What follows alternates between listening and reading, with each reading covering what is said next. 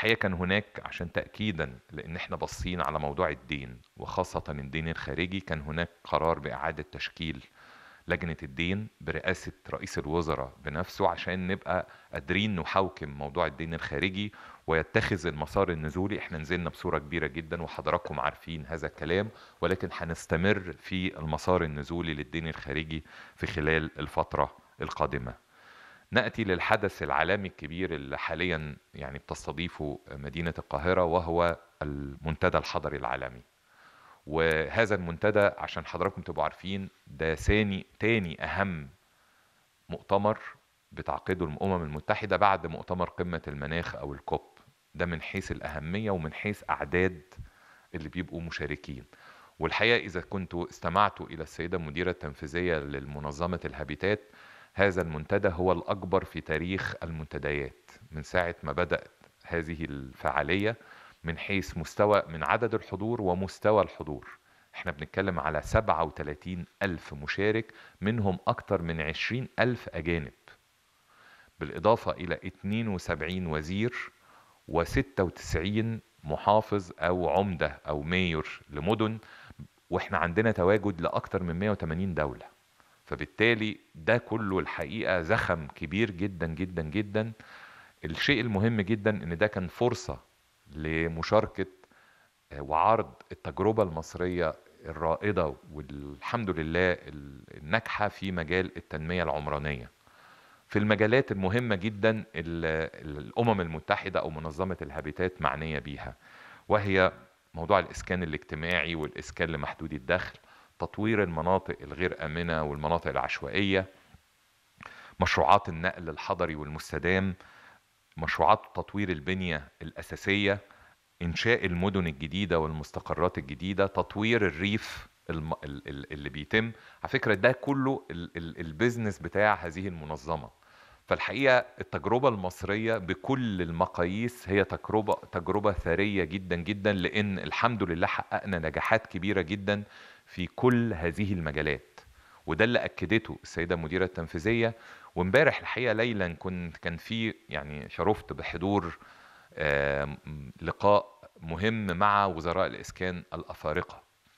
والحقيقة يعني ما سمعناه من وزراء الإسكان الأفارقة يجعل أي مصري يفتخر بالحدث في مصر في خلال هذه الفترة الماضية.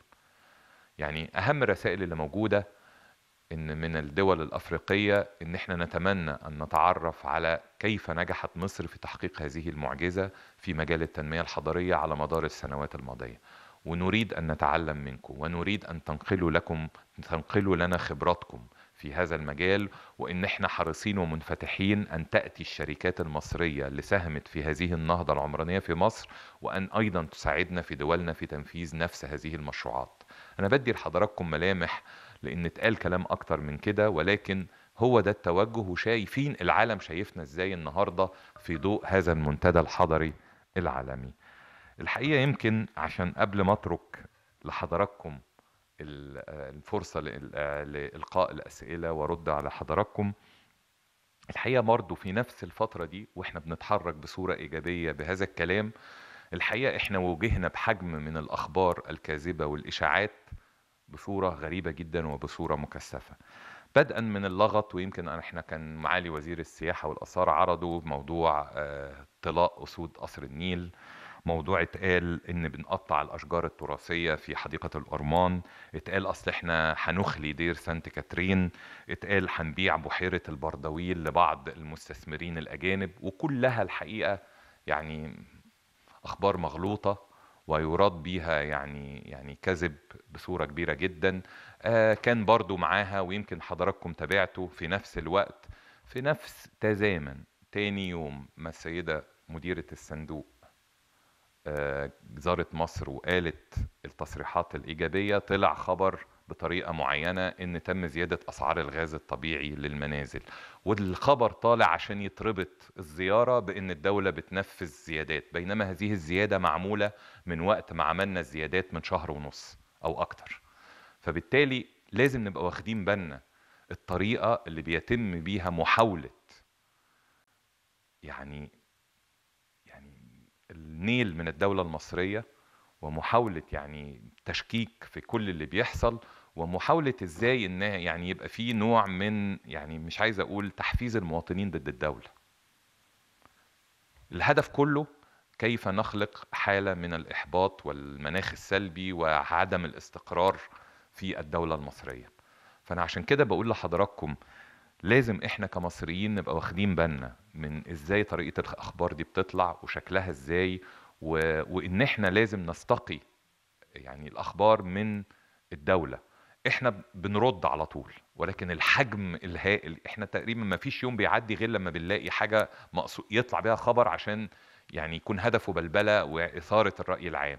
على طول بنرد وبنحاول نرد وبنحاول إن إحنا نتعامل مع هذا الموضوع. ولكن أيضا يبقى إن المواطن نفسه لازم يبقى واعي بهل هذه الأخبار فعلا منطقية هل هذا الكلام فعلا على الأرض بيحصل ولا لا طب وإيه الهدف منه أنا بقول هذا الموضوع لأن الموضوع هيفضل مستمر موضوع وارد جدا إنه هيفضل مستمر وهيزيد كمان كل ما هتبقى فيه هناك يعني شكل أو توجه إن هناك يعني إيجابية بتحصل وفي إصلاحات بتحصل وفي آثار إيجابية بتحصل هنواجه على. على الجانب الآخر إن محاولة إشاعة حالة من الإحباط والمناخ السلبي في هذا الشأن.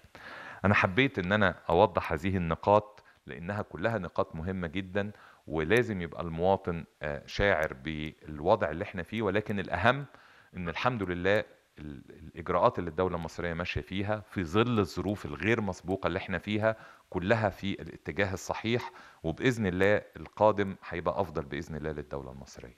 اسمحوا لي إن إحنا نتلقي عدد من الأسئلة اتفضل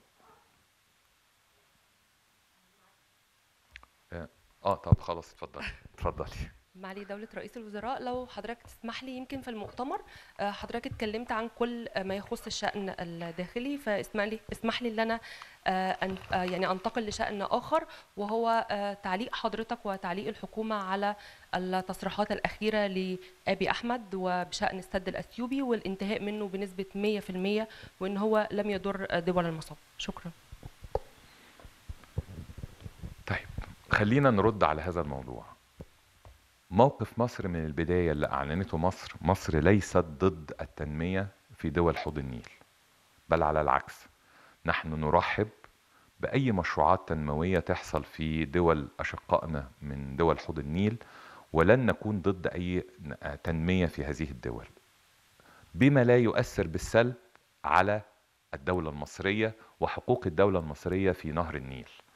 نهر النيل بالنسبة لنا هو المصدر تقريبا الوحيد للمياه في دولة معتبرة ومعرفة في العالم من أكثر دول العالم جفافا من حيث موضوع سقوط الأمطار. وبالتالي لم نكن أبدا معترضين على أي مشروعات ولكن كنا بنقول إن أي مشروعات تتعمل في دول حوض النيل تبقى بالتعاون والتنسيق والتوافق مع بعضنا البعض. وما زال هذا هو موقف مصر الثابت. حاولنا على مدار السنوات الماضية إن إحنا مع أشقائنا سواء في السودان أو أثيوبيا نصل إلى اتفاق يقنن ويضمن للدول المصب اللي هي مصر والسودان ألا تتأثر بالسلب من مشروع سد النهضة.